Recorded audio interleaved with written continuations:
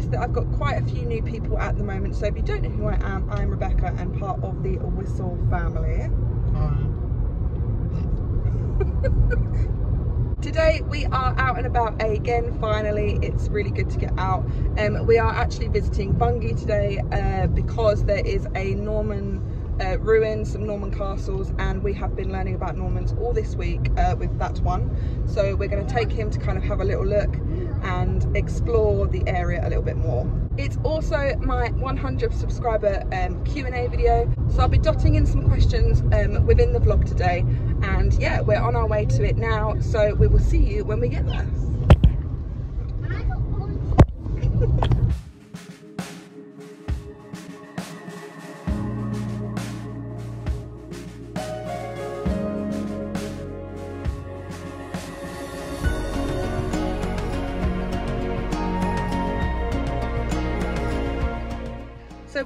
Parked up. Um, the castle's actually in the middle of the town centre. It's not um, on the outskirts or in like a kind of more natural setting.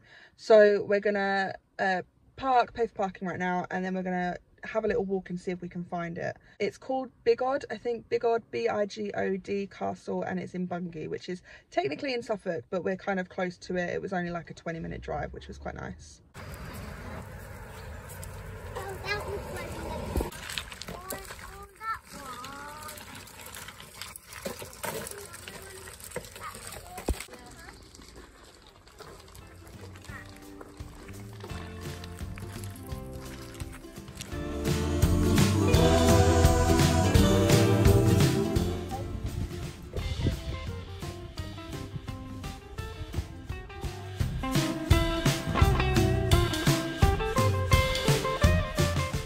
It turns out you can't actually go into the castle. It's actually been uh, padlocked shut, which is a real shame because the information board was in there as well. So we could have learned a little bit more about it. Um, but we do know it was a Norman castle. And I think Harry was just excited to see it anyway because we have been learning about it this week and he's got really into it as well. So it's really nice to see. Um, but we are on our way to Castle Hill. Um, so we're going to have a look and see if we can go there. But obviously not everywhere we go is like an epic adventure. Sometimes we have a few failures and I think today was one of those days where we're kind of just seeing where and how we go and where we end up. I know, but at least we saw it, which was cool.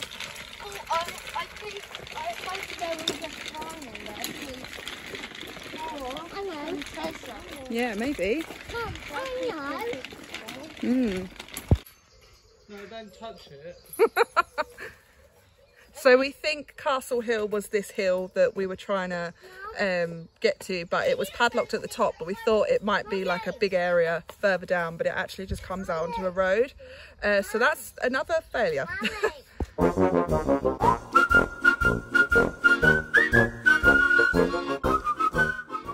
So we're making our way down, hopefully to River Waveney instead, and there may be some more outdoor space where the kids can kind of explore and we can have a little look.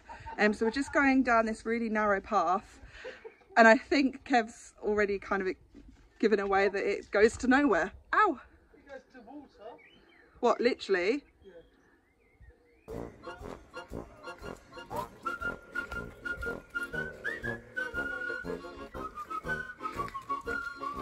the river! Yay!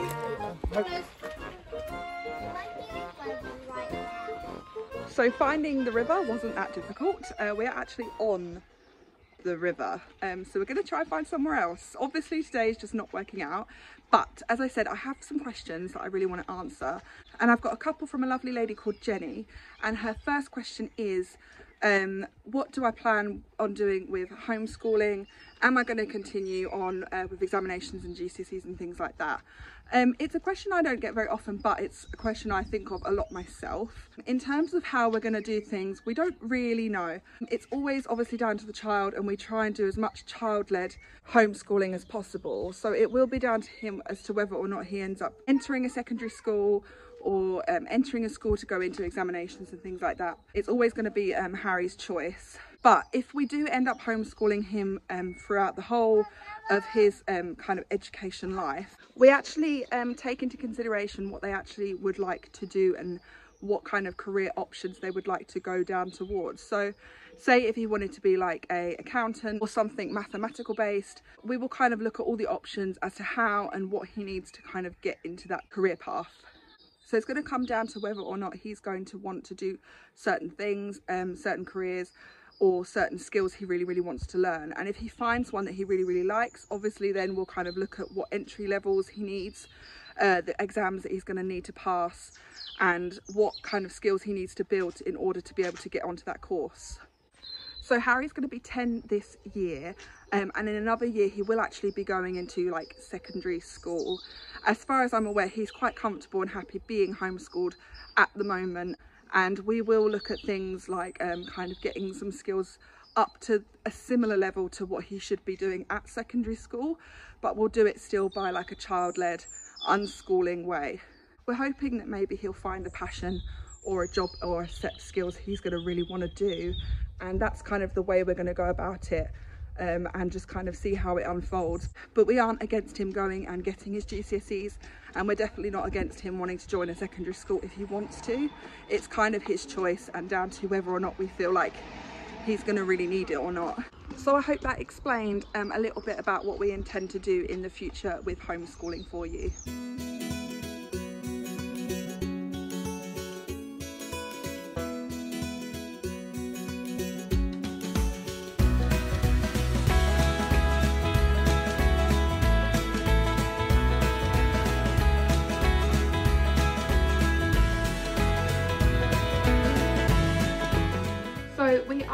From our trip to Bungay. As you could see, it was a little bit of a fail.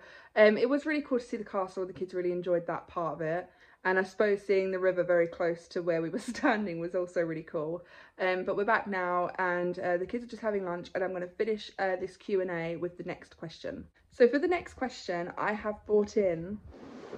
Me.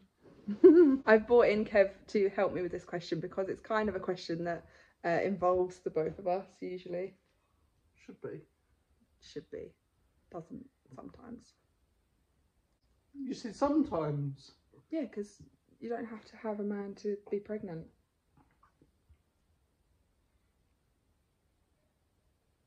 You can get like sperm donations and stuff. That's better. Oh look, here he is, Big Bear. Because I hate doing this with you. So this question was also from Jenny and she asked whether or not we were going to have any more children.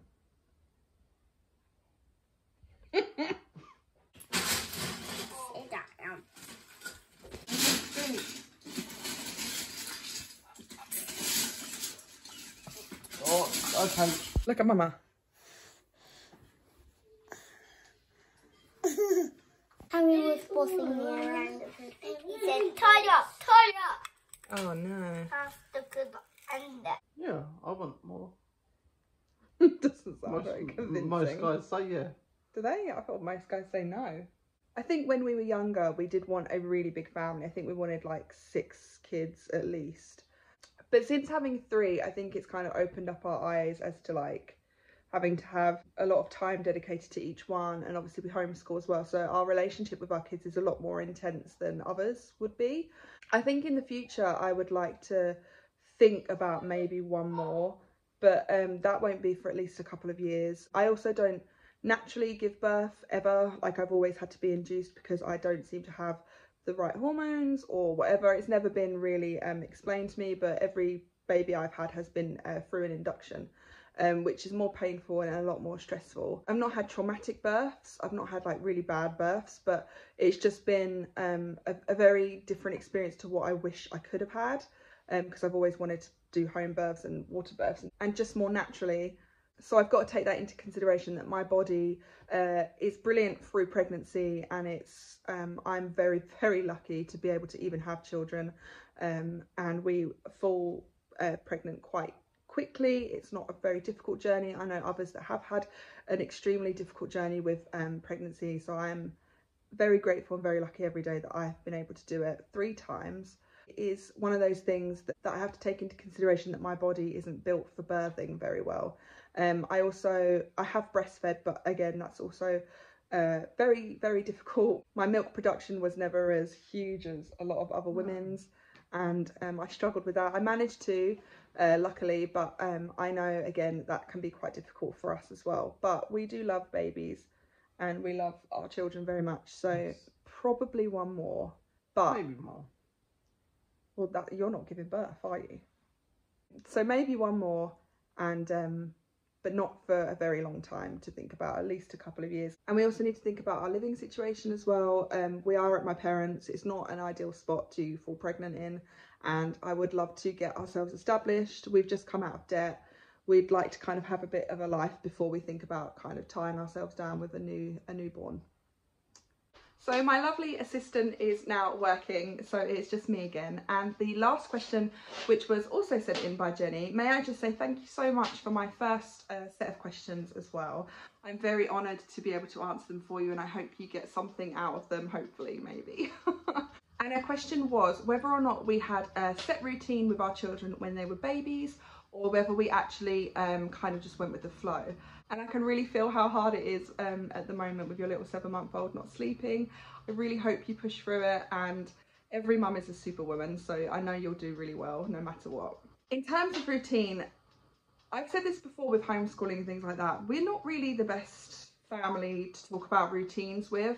Um, when my babies were babies, I um, I very much took a very natural approach a lot of just sitting uh, with baby for a very long time in the early days, lots of cuddles and skin to skin.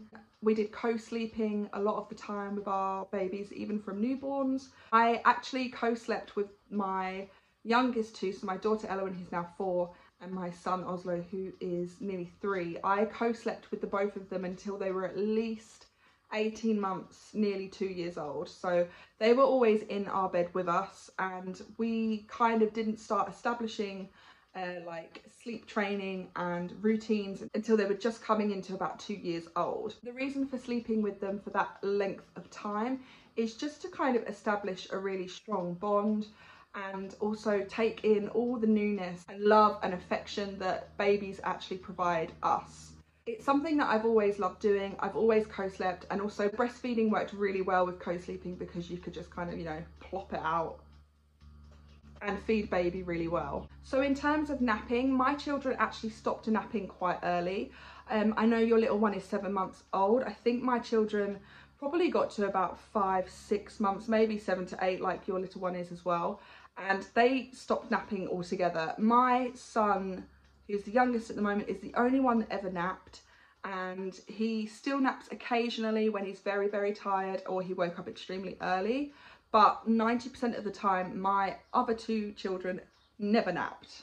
We would always go from early in the morning all the way through and the only time they ever slept was in the car or if again they had like a really stimulating day or they woke up extremely early that would be the only times they would ever really go for a proper nap we also weren't the kind of people that actually push naps um, we let our children kind of naturally decide how their bodies felt and if they didn't want a nap and they felt like they could continue on through the day then we would honestly just let them. I think the natural style of parenting is my favourite way. I'm not saying any way of parenting is the best.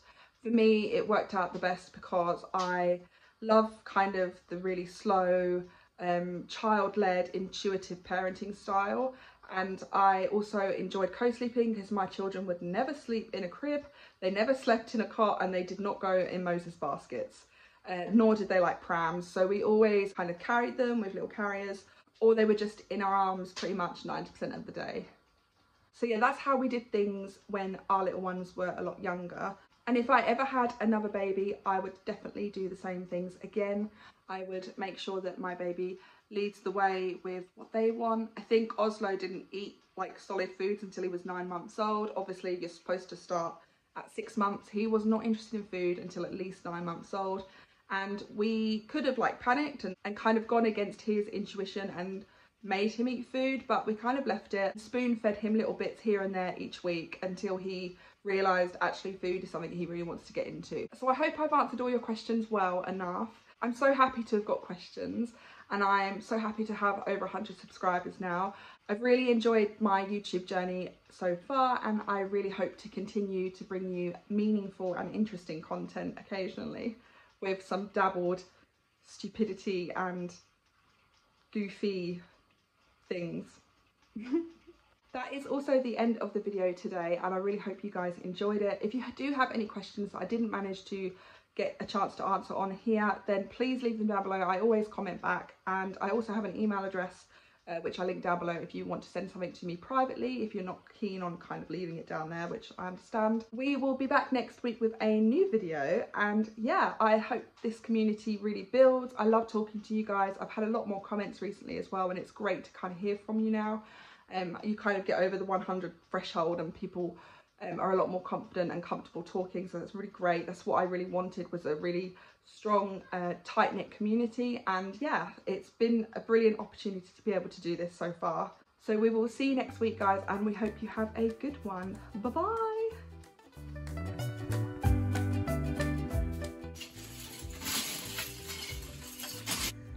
Right, you ready? Because I hate doing this with you.